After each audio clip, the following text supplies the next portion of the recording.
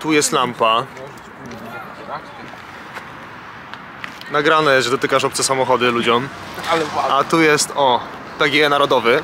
I idziemy tam zobaczyć, czy w ogóle opłaca się oglądać wystawę Intercars. 100 milionów za 100 samochodów? 100 samochodów za 100 milionów chyba, raczej tak, pokaż. Dokładnie. Dokładnie Z tym tak, się jeździ po dziwko. Warszawie, dokładnie tak, dobra. Więc e, zobaczymy się w środku. E, Ja to kupuję, nie dostaję tam żadnej akredytacji, nic, więc będzie wiadomo, czy będzie to rzetelny test. O, ciekawa jest taka rzecz, że w sumie to nie ma tu nigdzie znaku, gdzie się idzie, drodzy Państwo, żeby tam wejść. Tu jest brama, ale no co z tego, że tu jest brama? Tam jest jakiś gangsta. A Myślisz, że to tam? Myślę, że to tam. Dobrze. Moto wystawa, zobacz. No jest, pierwsza strzałka w ogóle. Jest kolejny znak. Proszę bardzo.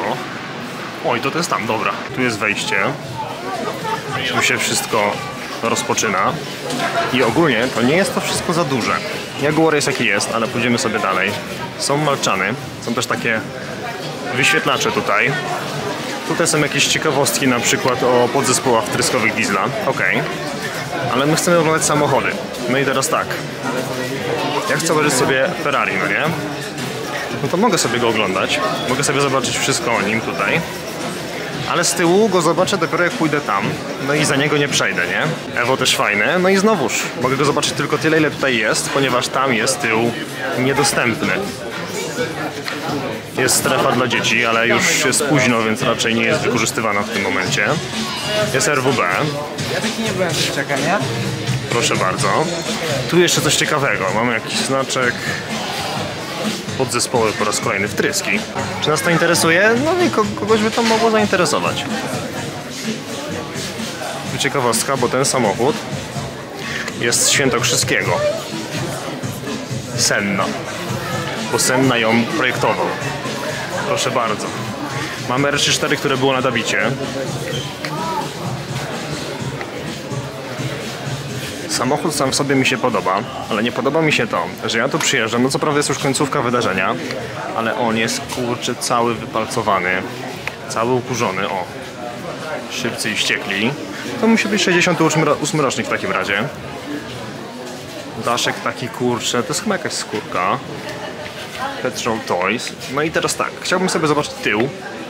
No to nie za bardzo zobaczę ten tył. No mogę tylko tyle trochę wychylić, jeszcze kamerka mi pozwoli. Ale ogólnie no to moim zdaniem te samochody powinny być przecierane chociaż i, i utrzymywane w czystości na czas wydarzenia chociażby. Bo wiem jak to jest na jakichś zlotach tuningowych, że ludzie, właściciele te samochody pucują, żeby lepiej się oglądało po prostu yy, zwiedzającym, prawda? To są jakieś zaślepki?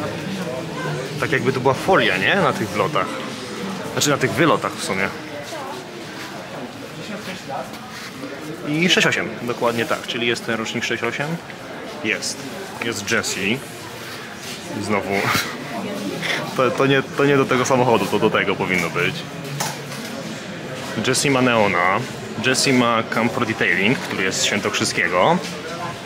I Jessie ma też ciekawostkę taką, że no nie zobaczymy go z tyłu, ale ma fajkowe tarcze i w filmie też miał fajkowe tarcze, więc to jest dobrze odzwierciedlony samochód, bardzo dobra, wierna repliczka. Pewnie jest coś, czego nie widzę, a powinien mieć, ale i tak wygląda super. Jakoś się ten film nazywał X? Coś w tym stylu. To był film o takich właśnie gangsterach, policjantach. Kurde, nie pamiętam, teraz się zbłaźnię, ale dobra, nieważne. Mamy 911, Turbo Burbo, super. Dobra, teraz YouTube bierze copyright za to, że pokazuje szybcy i wściekli. O jest Jesse, o możemy się przyjrzeć, czy ma, czy ma jakieś różnice tutaj na filmiku. W ogóle kto by powiedział, że Z8 oprócz kurzu jest warte 900 tysięcy złotych? No ja bym nie powiedział, a to jednak proszę. z, z, z gry, z Net for Speed'a, Undergrounda. Ta BMK ogólnie jest, proszę bardzo, Markola. To jest polska repliczka. I ona nie jest taka idealnie odzwierciedlona, wzorowana. Tu ma wiele takich e, unowocześnień. Ma tam silnik bodajże z to jest 4.4 V8 jakieś z X6M. Ona ma tu też ZF skrzynię z tego co wiem, ale wygląda naprawdę, naprawdę fajnie, nie? W sensie no jest dobrze zrobiona mimo tego, że jest trochę niedociągnięć.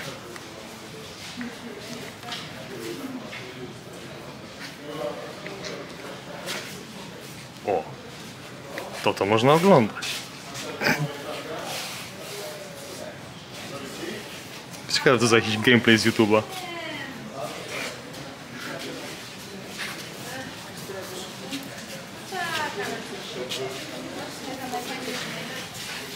To jest w ogóle most łąk na modach. Ej, to jest most... Aha, fajnie. Już most. O, nawet jakiś mo- zmodowana jest tablica rejestracyjna. No nic. Szkoda, że nie pokazują oryginalnego mostu Wanted, ale może nie wiedzą, że nie pokazują.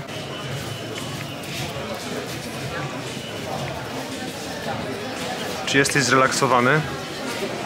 Jak nigdy, mój drogi. Zobacz, sobie tutaj siedzisz, obok ciebie, a ty zamiast oglądać, no właśnie, Cóż mogę powiedzieć? Jest mi tu dobrze.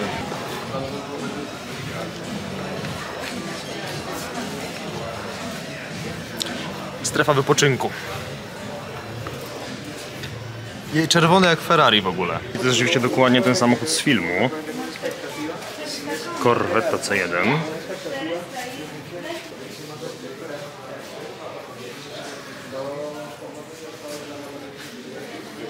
Tu jest tak ogólnie, że teraz jestem w jakiejś strefie samochodów, super samochodów, samochodów luksusowych. Pierwsza Vetta z silnikiem centralnie umiejscowionym. Fajnie. To jest 812 na przykład. I tam jest kolejna dalej, ale jest ciekawy samochód, muszę się odwrócić, bo przede mną... Co to jest za dziwny samochód? To jest Hennessy. I Hennessy ma 1820 koni ogólnie, nie? Proszę bardzo. Plenam F5. Te tabliczki bardzo się przydają, bo jak ktoś nie wie co to jest, pyk, 1360 wagi, 1017 koni i V8 oczywiście. Mercedesy jak Mercedesy, to nawet na ulicy się spotka. Oj, tam to piękne, piękne, cudowne stworzenie. Teraz tak. 1000 kuni od Ferrari Z90. Tego spotkałem szarego na ulicy. 720 też super. Też taką ciekawą rzeczą jest, że po prostu one mają jakieś tam takie swoje nazwy, nie? Outro, że ostatni spalinowy, prawda? Jest opis tego samochodu, możemy sobie dowiedzieć się jakiejś historii. Proszę bardzo. 2.0 z A45, 3.5 od Toyoty, 400 kuca. Fajny kolor, nie wiem czy go będzie widać, on jest taki e, British Green, tylko taki bardzo mocny i ciemny. Też nie chcę długo stać przy samochodach, bo ludzie sobie robią zdjęcia, nie? I po prostu piękny kolor swoją drogą, jak na e, Evo. To nie widziałem jeszcze takiego. Wow, tu jest taki rysunek, ale jaja. Ktoś to namalował. Ślicznie ktoś to namalował. Co prawda to nie jest ta generacja w ogóle. Fajnie, bardzo ładnie, nie? Tam z drugiej strony coś jeszcze jest? Jakiś rysunek? Nie, to jest po prostu ekipa, rozumiem, ludzi, którzy posiadają te wozy. 7.pl, Instagram. Ale no jednak GT3RS to GT3RS.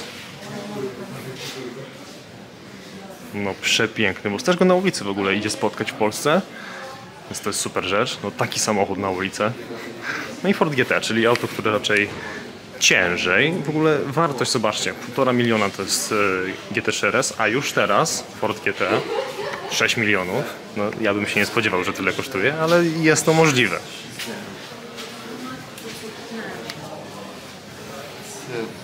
Czy to w ogóle ma sens, co ja robię? Chyba ma, bo pokazuję wam, jakie są samochody i pokazuję wam, czy jest sens tutaj kiedyś przyjechać za rok na przykład i zapłacić za oglądanie tego.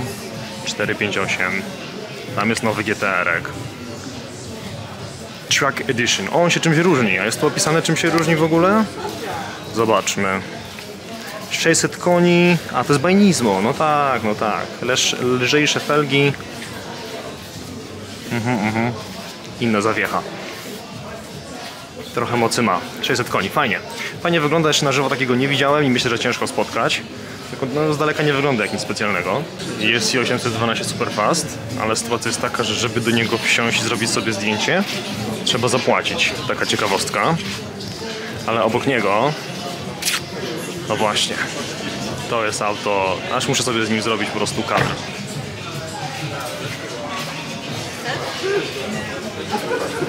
Dobra, teraz powiem coś do kamerki, jeśli będzie w ogóle to słychać. Mamy też motocykle. No Ja się na motocyklach nie znam, ale jest bardzo ładny. I uważam, że jedyne auto, które tu powinno być brudne, to jest właśnie ten Hammer, bo on do tego został stworzony i wręcz lepiej wygląda. Co to za magiczna liczba? Nie wiemy tego. Wygląda fajnie. No i trzytonowy Maybach, nie? S7. Fajnie. Wygląda mega dobrze. Który to jest 2002 rocznik, tak? Fajnie, no wygląda super, bardzo ciekawy kolor też, niestety samochód jest już ubrudzony, ukurzony i tak dalej. No i to zabiera mu tego uroku, który mógłby właśnie dać mu ten pełen blask, gdyby był tutaj mm, czyszczony, chociaż trochę wiecie, wytarty, nie? To jest Maybach, no on powinien być wytarty. No i teraz mogę sobie zobaczyć tył F40 na przykład, jakbym bardzo chciał. Mogę zobaczyć też mini Astona Martina. I teraz tak, który jest najbrzydszy? Ten? Czy ten? Nie, no ten to jest wygląda jak taki jakiś Maserati stary. Lepszy na pewno. No dobrze, w ogóle co to ma za silnik? Skąd ma ten silnik? Toyota IQ. Świetnie. Toyota IQ. Aston Martin Cygnet. 99 koni, 11,8 do setki, czyli dalej szybciej niż auto mojej mamy. Świetnie, to mi się podoba właśnie. Nie mówię, to wygląda jak stare Maserati, nie? To jest ten stary brytyjski samochód. Jakby tak go zrobili, to oni pewnie mieli w głowie, że ten samochód będzie kiedyś starym brytyjskim samochodem. Proszę bardzo. Kosmita, no, zdecydowanie. Plus posiadania szarego samochodu, że nie widać jak jest brudny. I tu właśnie on jest no szary, srebrny, połyskujący, ale nie widać, że jest brudny. A czy jest? Sprawdźmy to. A może one są wytarte w ogóle, bo te, te wyglądają... Nie, dobra, są jakieś tu ślady rączek. W ogóle nie wiem, jak ktoś tu nie można wchodzić, ale ręce poodbijali. To ciekawe, no chyba, że ktoś przechodził za te barierki i była jakaś drama, spina, coś tutaj. W ogóle pada mi bateria, jeszcze nie pokazałem wszystkiego. Testarossa, właśnie powinna być czerwona, no. Końcu Rossa, ale jest. Jest y, granatowa. Też fajnie wygląda. Wiele tak się bardziej wyróżnia niż czerwone Ferrari.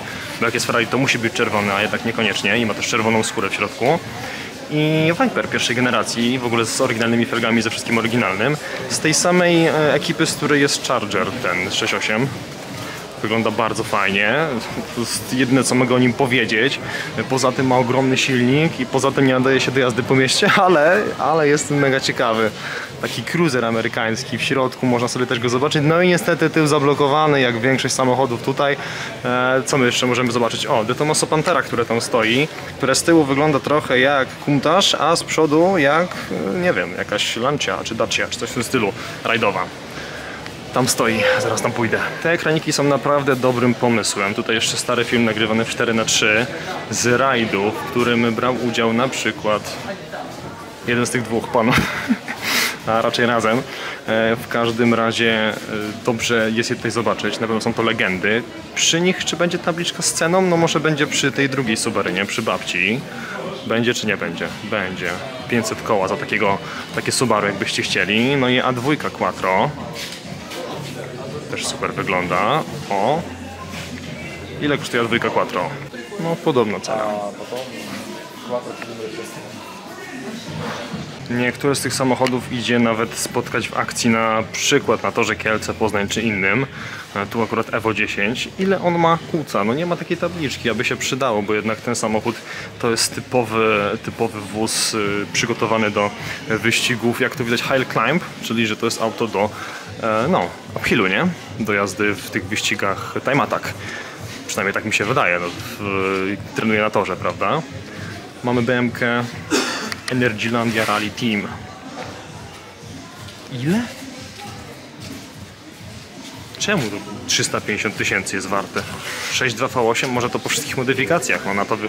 Aha, i jest e, LS z Corvette, tak? I to jest warte 3,5. Ciekawe. Wiesz, ile to jest warte? Cho- Chodź no, chodź no. Dobra, nie, nie, nie patrz tam, nie patrz tam. Ile jest ten samochód wart? Strzelaj. 100 koła plus VAT. No ale nie, no dobra. Wiesz Nie, taką no. BMK, nie? Fabryczną. Przerabiasz ją tak, Ile kosztuje zwykła? ale no, nowa czy używana? No, no, używana. używana, no Tak, nie wiem, no. Który jest rocznik? E82. Nie, to nie jest jaki 15. Czy to jest stary Dobra, samochód? 150. No według rozpiski tutaj to jest 350 tysięcy złotych. Ja no, nie tak wiem, dużo. no, no, ale ja, ja... Chyba, że ona ma całe body z karbonu na przykład, Cóż, ale... no. Fajne, no, znaczy fajne, no mi się nie podoba wizualnie, Fajny ale wiadomo ma do czego służy.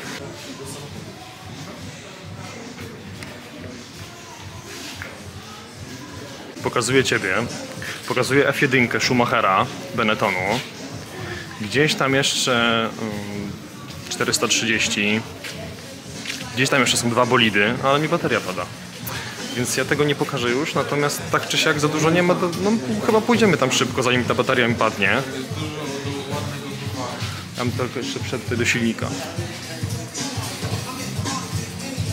To fajnie, że można sobie zobaczyć. Mam nadzieję, że to się nagrywa w ogóle.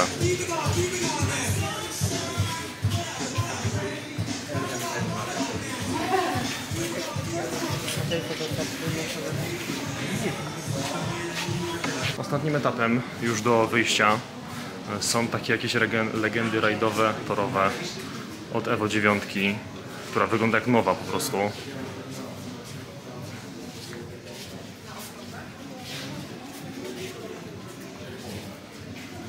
Przez Escorta Cosworth'a. W ogóle ten spoiler miał być podwójny. E, designer tego samochodu jakby miał też taką półeczkę po środku zrobić, ale Ford stwierdził, że to przesada. E, może miał rację rzeczywiście. Przynajmniej nie wyglądało to za dobrze, ale byłby, miałby jeszcze lepszy docisk. To już jest po przejściach w ogóle bolid.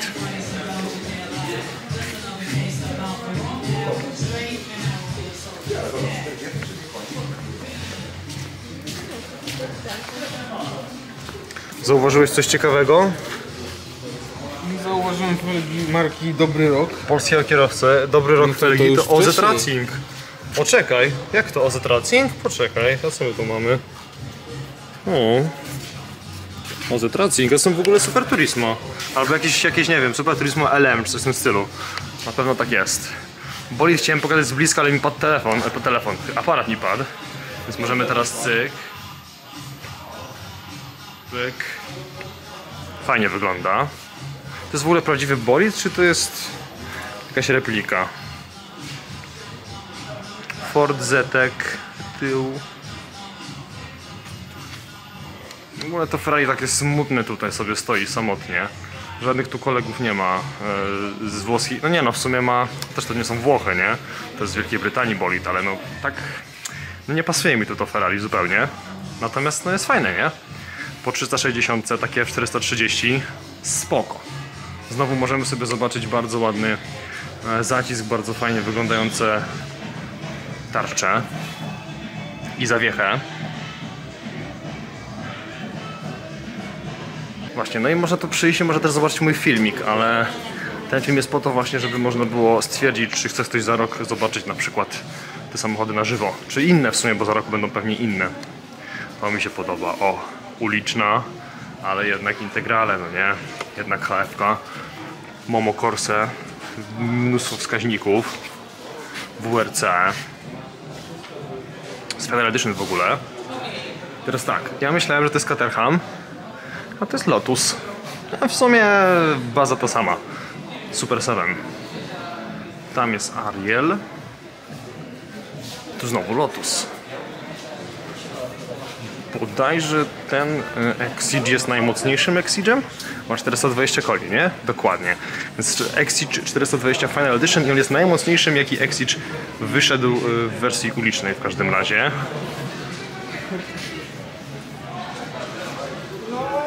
Initial D.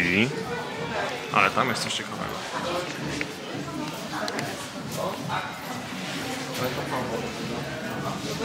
I to jest Lewin. Myślałem, że Trueno wstawili, ale to jest Lewin. Dużo jest w Polsce w ogóle takich, które można by tu wstawić. Jest to. W sumie na samym końcu jeszcze jest De Tomaso Pantera i to. To piękno, to cudo tutaj. W ogóle to są, czy to są przyciemnione te kierunki i tak dalej? Chyba tak. Natomiast e, jakiś tuning tu jest robiony. Automacik.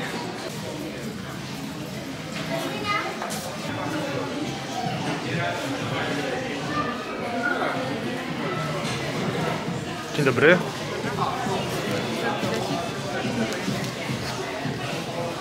O co chodzi? Dziękujemy. Dobra, nieważne. Pani mi zabrała bilecik, tak? No cóż, życie. Skomentuj to. Kradzież, kochani. Ja nie wiem czemu to się stało, ale ja chcę powiedzieć, co... zaraz tak stąd wychodzimy, prawda? Ale ja to do Tomasu chciałem pokazać. Przód ma ciekawy. O, tak będzie dobrze widać. Tył ma jak kuntaż, a przynajmniej te lotki jak kuntaż. I czemu pani mi zabrała bilecik? Nie wiem. Ja nie wiem, czy ja to mogę być legalnie teraz, jak mam zabrany bilecik. Ale mam, to mam. Ogólnie zaraz to zamykają już, więc ludzi jest e, nie tak wiele. Co robisz? Co robisz? Co robię? Wystawiam lampy, a Wystawiasz lampy do jakiego auta? Tutaj 4.6 z soczewką z przodu. Do E46, dobrze. Za nami są sprzedać, z Apex One symulatory. O, na narodowym patrz. Drift na narodowym. Powiem ci spoko. No, tam chyba Budda driftuje. Dobrze. Dalej mamy co? F1. Okej. No i e, plus jest taki, że na takim wydarzeniu możesz sobie polatać bokiem, czy, czy możesz sobie pojeździć w jakimś symulatorze. A minus jest taki, że kosztuje to za 15 minut 50 zł, a za 30 minut 80 zł. No i dla mnie to jest dużo. W sensie moim zdaniem to kosztuje dużo, jak za 15 minut. No to chwila, no to jest ile litrów paliwa? Jaki break. Duży, nie? O, o, dobra. Duży, fajny. 458 jest super. Nie wiem, co mi się bardziej podoba, czy 458 czy 488. A to jest w ogóle ostateczna edycja, jakaś tam e, torowa, nie? 600 koni ma. Fajnie. I waży... Ile to? No one tam się zaczynały od bodajże 450 koni, no ostateczna ma już 600. To trochę poszło do góry, nie? No więc w każdym razie, czy dla Ciebie e, za symulator to jest e, ok cena, czy nie ok? Myślę, że mogłoby to oscylować na 30 na przykład złotych za 15 minut. I 50 za pół godziny. 50 za pół. Tak, myślę, że spoko. Tak, myślę, że to by było trochę Ale bardziej. każda Ale to jest też taka. swojego Jesteśmy, odbiorcę. jesteśmy w Warszawie. No tak. I to jest kolejna sprawa, że jesteśmy w Warszawie, więc to jest trochę drożej, nie? I jakby są ludzie, którzy tam wysiadają i jeżdżą, więc jakby to im się opłaca, prawda? To prawda. Poza tym, no to o, na przykład teraz idzie tutaj całkiem pusto, patrz, patrz, czekaj, czekaj, czekaj. Tam tylko idzie sobie para jakaś, ale teraz, teraz to już jest ostatnie tam pół godziny i możemy pokazywać wszystko trochę bardziej tak po swojemu, nie? E, To jest tak dla mnie, jako dla osoby, która takie samochody widywała, to jest dla mnie ciekawsze, chociaż znowuż, tego nie widziałem na żywo jeszcze, ale to w ogóle stało sobie na uboczu na parkingu na Dabicie, a tam to widziałem wszędzie w internecie, więc teraz też mogę pokazać tutaj 406, w ogóle ma ciekawy wydech, taką wielką rułę.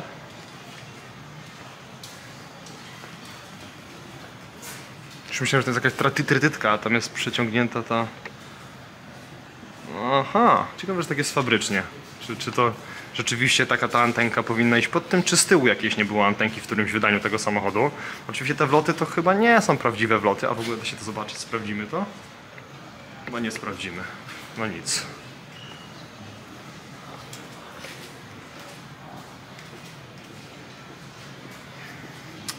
Co tej BMeczki ogólnie, no to, to, to nie są prawdziwe. No, Powinno tu iść paliwo, idzie tutaj. Natomiast no, spoiler też nie jest taki, jaki był w gierce, bo w gierce wydaje mi się, że był troszkę bardziej do góry. Mi się nie podoba, że są tu te, te naklejki wszystkie, nie? One tak trochę psują. Poza tym, poza tym w porządeczku, nie? Wydech jest z boku. Trochę też chyba inaczej niż w BMC był, e, ale jest zawsze jakiś tam.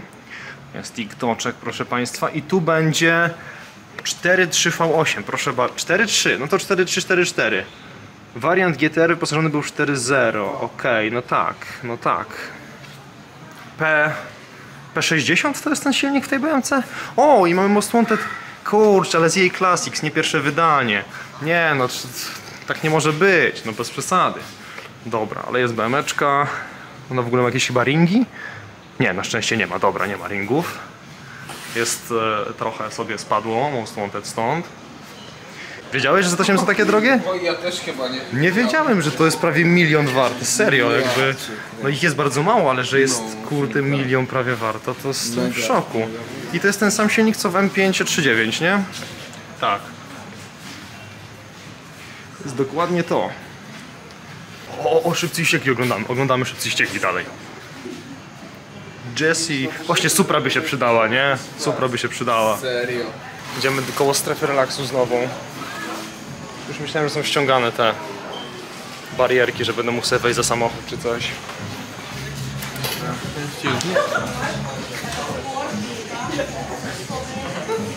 Fajna Honda z sceny. No właśnie, no, że to jest, że to jest, pokazywałem, że to jest Świętokrzyskiego. I że to Senna przy tym pracował. Jedna z trzech bodajże w ogóle Hond, jakie wychodziły z tyłu napędem, nie? Proszę bardzo. RC nie działają, przepraszamy. Ojej, jak szkoda. A przepraszam, pan tutaj się z tym stanowiskiem zajmuje, tak? Przepraszam. Tak, wynajmuję. E, jaka jest cena, przepraszam, za pół godziny takiej jazdy samochodem tutaj? To pytam? Media, media, TVP. 100 zł od godziny. Mhm. Jednakże pilot we własnym zakresie. A, dobrze, no baterię może? Nie wystawiam faktury. Dobrze, dziękuję bardzo. Kadr przy F40. Musi być. W ogóle to jakieś te amerykańskie rapsy wszędzie lecą. East Coast, West Coast. Tam jest traktor. No, traktora nie widziałem. Idziemy sobie? Jesteś w ogóle mokry na twarzy wodą. Nie na twarzy. to mi się podoba akurat. Aha, czyli my idziemy tu, a wychodzi się tam. To przechodzimy pod tym? Taki rebel trochę? W sumie życie na kremencie. Dawaj. Zapraszam cię tam. Dziękuję bardzo. Żegnamy się, Do tak? widzenia. Do widzenia. No i teraz mogę mówić, co sądzę. Ja Więc- sądzę, że... No, co sądzisz? Sądzę, że w porządku. Tak, ogólnie, jeśli ktoś tu mieszka, właśnie, bo my przyjechaliśmy z Kielc, te prawie 200 km. No 200. No i jak my tu przyjeżdżamy 200 km, W jedną stronę. to oczekujemy trochę więcej. To jest wstęp do takiego wydarzenia, to jest 65 zł weekendowo za ulgowe. O, no to proszę pana, proszę pokazać, proszę pokazać. No to Kogo się trzymają, tego się trzymają, moi drodzy. Dobrze, więc, y, więc to 55 zł, nie 65 w takim razie. E, dobrze, moim zdaniem ogólnie to warto byłoby tu przyjechać i się nie zabić na tych schodach, ale nie taką odległość i takie kilometry, bo tych samochodów jest po prostu mało. Jest mało samochodów, jest mało możliwości zobaczenia ich dokładnie, to znaczy zobaczenia ich z bliska na przykład. Znalazł 10 zł, się będzie teraz cieszył jak dziecko po prostu. E, poza tym, nie, no dla mnie to trochę za drogo po prostu. No to jest Warszawa, takie są tu realia. Ja to potrafię zrozumieć, jeśli ktoś nigdy takich samochodów nie widział, a marzy na przykład, żeby zobaczyć któryś z nich, no to tak, tak najbardziej tak, no bo po prostu nigdzie indziej nie będzie miał takiej możliwości raczej tych wszystkich samochodów w jednym skupieniu razem zobaczyć, nie? A jak będzie miał, to też będzie jakoś tam swoją cenę miało, no. Chciałem to porównać z Altrace'em, ale Altrace to to bije na głowę łeb i szyję, także nie ma co. No i poza tym, no obejście tego całego, tak wydaje mi się, że mogłoby być w granicach nie wiem, 20 minut, jakby ktoś tak chciał sobie po prostu tylko poprzechodzić, nie czytać, nie skupiać się. I my stamtąd wyszliśmy, a nie zrobiłem żadnego zdjęcia. Musimy tam wrócić niestety.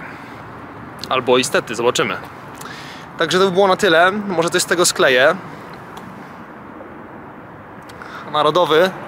Dziękuję Wam bardzo za obejrzenie tego materiału. No i co? To ma być dla Was podpowiedź, czy jest sens tutaj przyjechać i to oglądać na przykład za rok, a może też się wiele zmienić. Zobaczymy.